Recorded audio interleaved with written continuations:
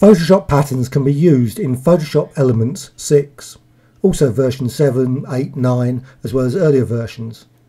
Now, PC or Mac. Now, File, Open, and you can load the PAT files just by File Open command.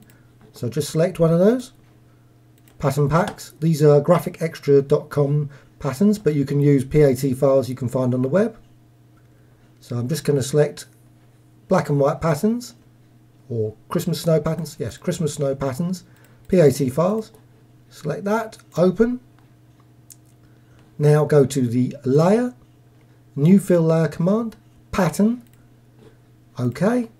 And now you see the pattern designs are here. So I've actually loaded previous ones. So there's the ones, default ones, you get the default patterns, also ones that I loaded earlier, as well as the snow pattern. So I can just quickly go through the patterns, decide which ones. I also can scale, click OK at that point, and that's just as a standard layer, which I can then go back to at any point, just change the pattern if I wish, as well as change the actual design. And again, you've got the selection of patterns here, but I'm just going to quickly click OK, and that's it for patterns.